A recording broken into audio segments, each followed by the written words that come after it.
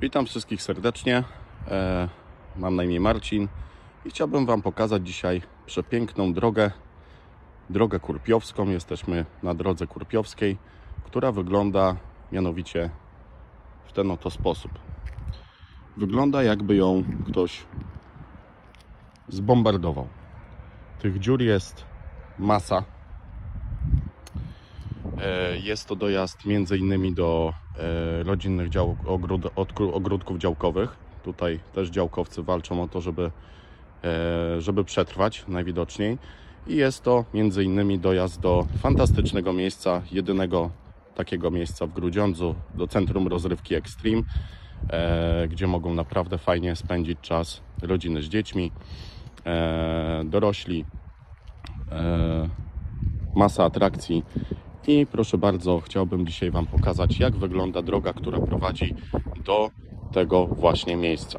Tutaj mamy znak, ograniczenie do 5 km na godzinę, kolejny e, i proszę bardzo, pierwsza z brzegu, o może podejdziemy do tej. Ja jestem przygotowany, mam listewkę ze sobą, tak żeby Wam też pokazać, jakie są, e, jakiej głębokości są te dziury. W środku jest jakiś to jest, nie wiem, jakaś taka mieszanka bitumiczna, czy, czy po prostu jakieś kruszywo. To się wszystko oczywiście, patrzcie, jak, jak siepie, nie? Przyjeżdżają tutaj samochody, małe, duże, większe, również autokary wjeżdżają tutaj, e, więc e, no, ta droga jest w stanie krytycznym. Ja sobie tutaj może tą zmierzę. Proszę bardzo, mamy listewkę. Pierwsza Pierwsza z brzegu dziura. Proszę bardzo, listewka na równo. I jest ile? 8, 8,5 cm głębokości. Tak? Pierwsza dziura. Idziemy dalej. Tutaj dziury, tutaj dziury. Naprawdę, jak ktoś jedzie samochodem po tej drodze, e, to na pewno obawia się o zawieszenie w swoim samochodzie. Tutaj też dziura konkretna. Idziemy dalej, bo to, bo to nie jest wszystko. Słuchajcie. E, do centrum rozrywki Extreme często przychodzą również dzieci z pobliskiej szkoły specjalnej. Są one e, no po prostu często mm, mają wady ruchowe e, i przyjeżdżają na wózkach, przychodzą o kulach pieszo. No i popatrzcie, jak taką drogą jechać na przykład wózkiem. Jak taką drogą iść? Można tutaj sobie naprawdę nogi połamać. Tak? Sprawdzamy drugą. Proszę bardzo. Druga. Ile mamy? 10 cm. 10 cm głębokości tej dziury. Idziemy dalej. To też nie jest jeszcze hit. O, tutaj następna dziura. Następna dziura. O, tu mamy piękną lochę. Bardzo szeroką. Nie wiem, czy listewki mi wystarczy. O, proszę bardzo. Już pokazuję. No, 7,5 7,5 centymetra a to wszystko oczywiście się pogłębia, bo samochody jeżdżące tą drogą, no to oczywiście e, coraz bardziej te kruszywo spod spodu e, wybierają i tak dalej. Tutaj mamy następną. Sprawdzamy. Sprawdzamy. I tutaj mamy 9 cm. Idziemy dalej. No słuchajcie, to jest tragedia, nie? Co tutaj się dzieje. I nikt się tym oczywiście nie interesuje, nie? Tutaj następna.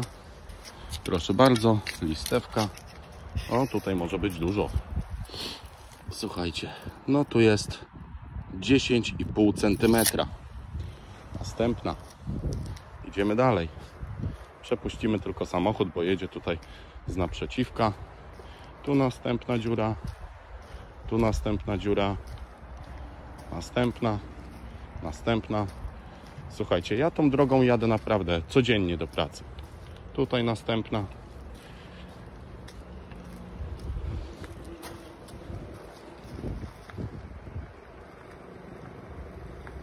Ciężko gęsto, czy, ciężko tutaj w ogóle przejechać o takiej prędkości, jaka jest ograniczenie, więcej niż 5. No, no taka droga jest właśnie, pełna dziur. Można sobie naprawdę samochód bardzo szybko załatwić, nie? Mierzę, nagrywam, bo jak się nikt tym nie zainteresuje, to nikt nic nie zrobi, wie pani co? Ja tu dojeżdżam codziennie do pracy kosmos. i ja myślę, zastanawiam się, czy czołgu nie kupić, nie?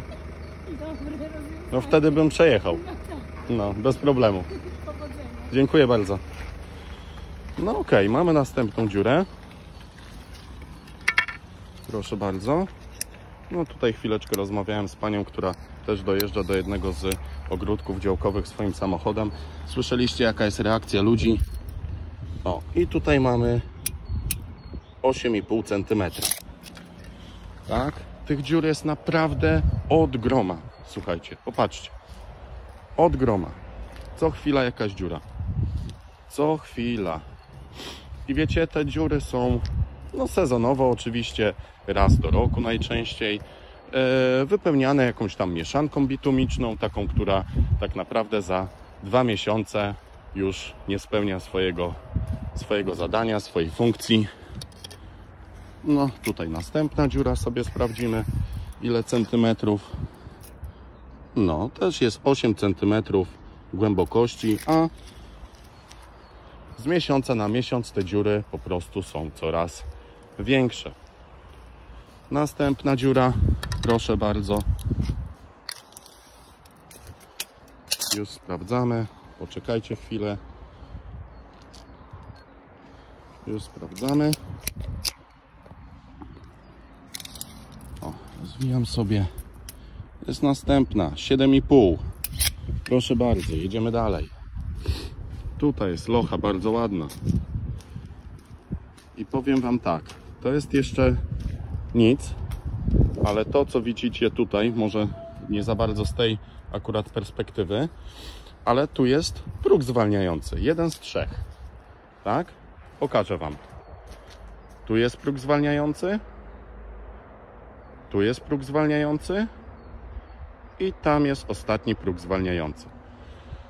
Eee, słuchajcie, no nie wiem, czyja to jest praca, czyja to jest robota, kto to sobie załatwił, ale próg zwalniający ma gdzieś szerokość, ja wiem, z półtora metra.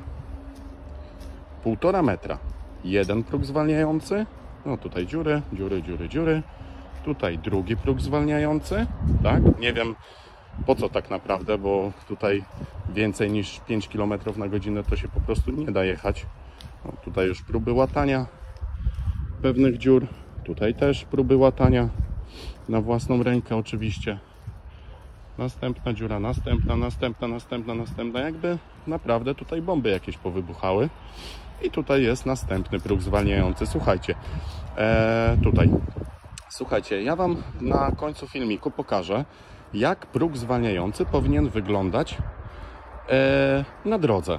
Tak? To, że oczywiście oznaczony jakiś tam znak, e, ograniczenie prędkości, e, znak informujący, że są progi e, zwalniające, to oczywiście, ale on sam w swojej konstrukcji powinien być również zgodny z przepisami. A tutaj jest jakaś naprawdę e, no, totalna samowolka, tak? E, Pokażę Wam, jak progi zwalniające wyglądają na ulicy Droga Bociania, która łączy się z drogą kurpiowską. E, No i sami ocenicie, czy te progi zwalniające, które Wam pokazałem, e, to one w ogóle mm, zasługują na miano progu zwalniających, czy nie. E, Bo moim zdaniem to jest naprawdę samowolka. Tutaj jeszcze raz pokażę. Proszę bardzo. Następna kwestia to jest to, że ta droga jest na tyle wąska, że tutaj dwa samochody absolutnie się no nie miną. Popatrzcie na te krzaczory, tak? Z prawej strony, z lewej strony.